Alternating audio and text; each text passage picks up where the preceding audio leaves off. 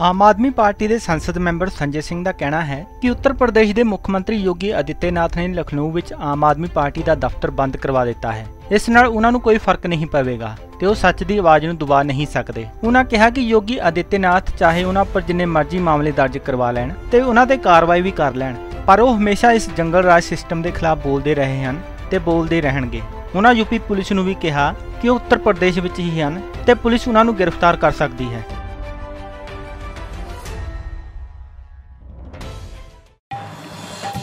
साथियों इस वक्त मैं आम आदमी पार्टी के कार्यालय पर हूँ और पिछले कुछ दिनों से लगातार मैं योगी सरकार के खिलाफ सच बोलने की जो हिम्मत दिखा रहा हूँ, जो लगातार इनके खिलाफ आवाज़ उठा रहा हूँ उसके कारण से इन्होंने मकान मालिक पे दबाव बनाने की कोशिश की और ये कार्यालय बंद करवा दिया। मैं योगी जी से कहना चाहता हूँ, ये बचकाना खेल मत खेलिए।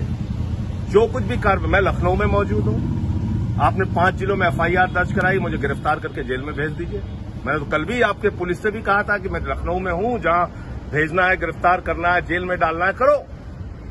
लेकिन सच की आवाज़ को हमेशा बुलंद करता रहूँगा। आपसे अपराध रुकता नहीं, हत्या की घटनाएँ नहीं रुक रही, बलात्कार की घटनाएँ नहीं रुक रही, अपहरण की घटनाएँ नहीं रुक रही हैं। आप विपक्ष की आवाज़ को रोकना चाहते हैं? आप तानाशाही से और डंडे से उत्तर प्रदेश को चलाना चाहते हैं? तो कार्यालय तो हम लोग आम आदमी है, कहीं सड़क पे खोल लेंगे, उसकी चिंता की बात नहीं है, लेकिन आपके सरकार की असलियत को आपके जुल्म को, जाति को बेनकाब करता रहूँगा। मैं नहीं चाहता कि मेरी वजह से कोई मकान मालिक, कोई भला आदमी परेशान हो। मैं उनको बहुत धन्यवाद दूँगा कि उन्होंने इतने दिनों तक कार्यालय चलाने की अनुमति दी। अब मैं कहीं दूसरी जगह कार्यालय बना लूँगा। कई लोगों के फ़ोन आ रहे हैं, वो कह भी रहे हैं कि हम कार्यालय आपको देंगे। तो कहीं और दूसरी जगह कार्यालय बना लूँगा, योगी जी। लेकिन मैं आपको कहना चाहता हूँ, ये बंदर घुड़कियाँ, एफआईआर और इस तरह की चीज़ें दिखा के आप हमारी आवाज़ को रोक नहीं सकते। जय हिंद इंकलाब जिंदाबाद। ਦੇਸ਼ ਦੁਨੀਆ ਤੇ ਕਰੋਨਾ ਮਹਾਮਾਰੀ ਦਾ ਅਸਰ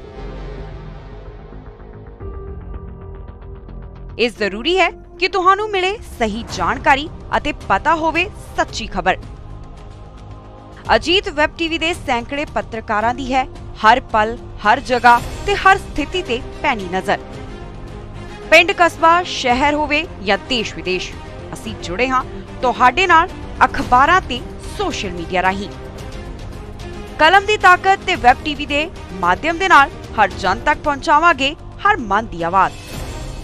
ਹਰ ਆਮੋ ਖਾਸ ਤੇ ਹਕੂਮਤ ਨੂੰ ਵੀ ਕਰਾਂਗੇ ਸਵਾਲ ਜਵਾਬ। ਆਪ ਨਹੀਂ ਤਾਂ ਪਹੁੰਚੇਗੀ ਸਾਡੀ ਵੀਡੀਓ ਕਾਲ। ਅਫਵਾਹਾਂ ਤੋਂ ਬਚੋ ਅਤੇ ਸੱਚੀਆਂ ਤੇ ਸਹੀ ਖਬਰਾਂ ਦੇ ਲਈ ਜੁੜੇ ਰਹੋ ਅਜੀਤ ਵੈਬ ਟੀਵੀ ਦੇ ਨਾਲ।